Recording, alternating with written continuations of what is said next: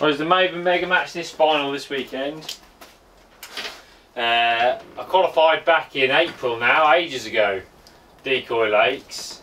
Um, I remember then thinking it's a long time till the match, and uh, but I'm sure it'll come around quickly, and it has been unbelievably busy summer. For those of you who watch the blog will know. So really, I was I was uh, really looking forward to it, but I hadn't had a chance to get too excited about it, if you see what I mean. So what I managed to do is get in a couple of days practice on the uh, Tuesday and Wednesday, the week before the match. Now, practicing is a funny old thing for big matches because really you can't really learn too much about the venue in practice because uh, you're pleasure fishing. There's no nets in the water, the pressure on the water is not the same.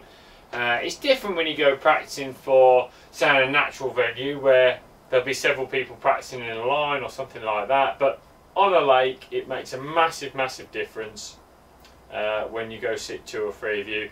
Fish that you don't often see caught come into the play, you know, and you catch lots of them. So, you know, for example, big carp or big perch or bream or anything like that. So you've got to be a little bit open-minded. But what practice does allow you to do is hone your tackle and make sure everything that you're doing is you know within uh, right. You've got a lot of confidence in your hooks. You've got confidence in your hook baits you've got confidence in your elastics. You've got confidence in your line. Your pole where to fish. You can still dictate better places and, and not. So that was really what I was just looking to do. I took um, Matt Godfrey with me. He's a very very good friend of mine and uh, one of the one of the best anglers in the UK and I think that having someone like that there with me was a great help because obviously when he's fishing, uh, we're talking all the time, we're discussing the tactics and things like that. So, um, you know, Matt wasn't in the final and he was going to sit with me on the day of the match, so it was important to me that he came with me and, and saw what was going on. So that was quite good. Um, the day of the match, I drew peg 9, which is about permanent peg 22 on Larford. It's just before the uh, the island on the match lake. It's just before that peg. And for those, again, those of you that watch the blog, uh, it's where Andy Geldart drew back in uh, Fish O' Mania qualifier, which he qualified, and then subsequently won Fish O' Mania. So I was quite excited. I thought that's a relatively good area. It massively depends on what the wind's doing. Um, for example, I remember when Andy drew there there was a quite a, a very well very very strong wind, and the island was a little bit of shelter from that wind. And you know, he said to me he felt that held a few extra fish. Well, when we went on the match, the wind wasn't particularly strong, um, and it wasn't quite in the same direction. So what it actually created was behind the island there was a bit of a sort of a calm area where the water was quite still. Now in the summer on commercials, having a bit of a ripple on the water makes a massive difference. And I think that when I sort of sat on my peg and didn't see any ripple, I was a little bit disappointed because I felt that the fish probably wouldn't be as prone to feeding. But there was quite a bit of a ripple and movement on the pole, so I wasn't too despondent about that. Um, my plan was to start on the pole. There's a lot of pressure on the bank, so I started on the pole with pellets.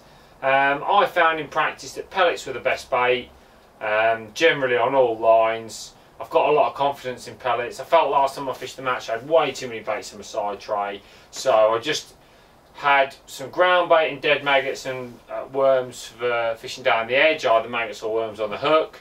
Um, and then I had some 6mm pellets for these pellet lines on the pole and some micros done up for the method feeder and a few 8mm pellets for feeding. Relatively simple bait tray there. Um, keep things clear in my mind. I was very confident and everything was quite organised and I felt really ready for the match. I started about 11 metres, a lot of pressure on the bank so I didn't want to start too close. Uh, fished a 4x14 Dura 6, it was really nice, just dotted right down, potting in a few pellets, reading your bites. Uh, those of you who've been on sort of anyone who's been on a tuition day or anything like that with me, uh, coaching days or demo days, I always look I always do that short line because it's a real good example of how to feed and how to tune your approach to sort your short, you know, your short line uh, uh, fishing. So um, yeah, you know, it's uh, that, that that was that was really good to me. I, I was really happy. Um,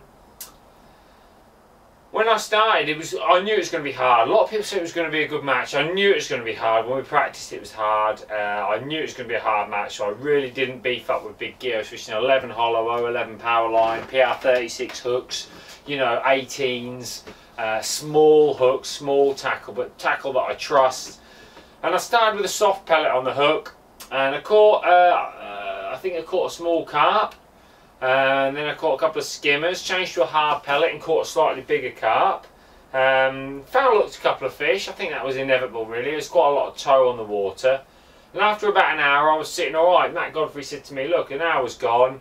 You're top five in the match for sure. And it's been a terrible start. So, you know, keep going. Well, that was great. That was just to my plan. Incidentally, at this point, Chris Cameron on my left had been fishing the pole, and we were probably touch and go, me and Chris. I, I probably think I had a little bit more than him at that point, and uh, and he's been steadily feeding uh, uh, some eight mil pellets out long, but sort of twos, threes, fours, eight mil pellets. Well, I've I've gone a slightly different route to that. I've been a lot more aggressive. I've fed sort of ten to fifteen pellets uh, all the time, quite aggressively. I felt that they weren't naturally going to be feeding where I was in the calmer water. I was going to have to make something happen, and that's what I decided to do with the pellets. Chris went on the method feeder or the bomb. He sort of changed between the two. I'm not too sure. After about an hour, and he caught a couple of carp. Uh, and I thought, okay, well, I don't really want to go on the method just yet. See if I can catch a bit more. Moved out to 14 and a half metres on the pole and snuck a couple of fish. But again, nothing really of any relevance. I think a couple of skimmers, and it was a poor hour, and I was. I, I felt a little bit disappointed. I felt like maybe I could have gone on the method a bit earlier, but I was trying to save it in my mind for that better fishing towards the end. Well, Chris forced my hand. He had three more carp, and every carp that Chris had was a big fish, and uh, you know, decent fish between six and ten pounds. So I cast the method out quite expectantly. I've been feeding regularly you know, I felt I'd managed my peg well up until that point, and uh, I was ever so disappointed because for the next 50 minutes I never had a bite. Um, I chucked on my feed, then I chucked off my feed, past my feed, short my feed, trying to find a fish. I eventually settled back on my feed. Maybe if I'd have chucked on my feed a bit sooner, I could have nicked another couple of fish, but I don't think it would have made a difference. My, then I, when I did get one, it was a nice fish, about uh, a mirror around about probably seven or eight pound, and then I caught another one about five pound, and I thought, well, this is going all right. You know, these are, you know, maybe a few more of these fish, and I might stand a chance of doing well. You know, even if I'm not going to beat Chris. Um, and then I, I did catch another three fish, but every one was sort of two or three pound, quite small carp. And like I said, but this time, even though those five fish that I've had were probably fish for fish with Chris, oh, he, he had £30 more based on the size of the fish. I was fishing either a 6 or 8 mil pellet on the hook. I felt I was feeding 8 mil pellets. I felt that was the right hook bait to fish. I know he's fished some sort of bright boilies or an 8 mil pellet on the hook. Uh, I haven't done a bright boilie. Maybe that would have made a difference, but I'm not a I'm not a big believer in uh, in individual hook baits personally. I like to think that my method is well presented with an 8 mil pellet and and a carp will eat it but maybe maybe I'm wrong on that you know maybe I should look into that more but that's what match fishing's all about really um, experimenting a bit but anyway sort of um, by this point I know I'm not going to beat him now but Chris is having a, a, a, difficult last hour really and, and so am I. I mean at this point now the wind's gone completely for both of our pegs and he's really struggling. And I think that to me showed what the fish want. He has caught one carp on his pole line with a method feeder and one big carp down the edge, but um, at the end. But in relation to what he already had, I mean, at the end of the match, he's won the match fantastically with 43 kilos, and Perry Stone's been second with 37. But I would have thought if we'd have weighed in with an hour to go, Chris would have had 35 and Perry wouldn't have even had 20, maybe 15 kilos at best because he's caught big fish down the edge late. So you can see that the fish had moved from the area and I just feel that that was a little bit of a reflection to what had happened to me throughout most of the day. Uh, I ended up weighing 16 kilos. Jamie Hughes got our section by default, fished a nice tidy match on the pole all day. He's an excellent angler.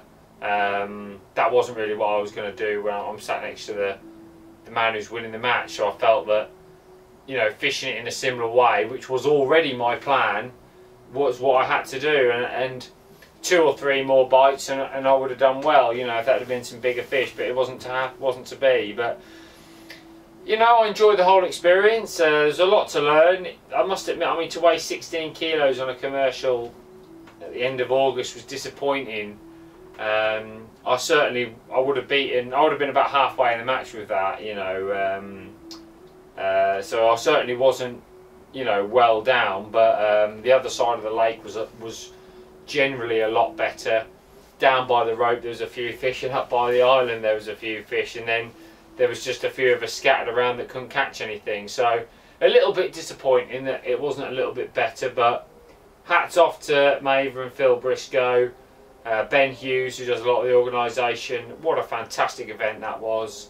Uh, the night before was a great event and uh, really everything was really impressive. So um, you know, I was I was just proud to be a part of it, and it was a really really good match. A little bit deflated, probably you can tell for those of you who watch regularly. I'm, you know, I've had a fantastic summer. I really have. I, you know, I had a, one or two iffy matches, but on the whole, generally, I've had some some really great results. So I, I must admit, I was disappointed for it for nothing really to happen. I did fish the, incidentally, I fished the team match the next day at Larford Lakes and uh, I drew two or three pegs to the right of where I was the day before and weighed nearly exactly the same weight. And some what I consider fantastic anglers were to my right and, that, and they caught absolutely nothing. Uh, you know, six kilos. Um, you know, eight kilos. You just get an idea of how few fish there were feeding in the area. And then again in similar areas to the day before, Far Bank, Odd Feature Peg, they caught some fish. So, you know, for whatever reason, I mean, I have looked at the results from this weekend. It doesn't appear that the commercials have fished as well as they normally do. But for whatever reason, um, it's not gone for me. It's not. Oh, the team did well. Actually, we did do well. It was 22 teams. We were fifth. I know Barnes were on a bit of a winning run, but you know, I, I felt that that really you need a good set of pegs. We were a little bit unlucky to be beaten here and there by a pound or two. Maybe could have snuck in third, but you know, uh, Team Matrix won. Fair play to them. Great set of blokes, and uh, really, really good result for them. So a good weekend at Larford, really, um, in terms of like the organisation and the big matches. But the fishing could have been a little bit better.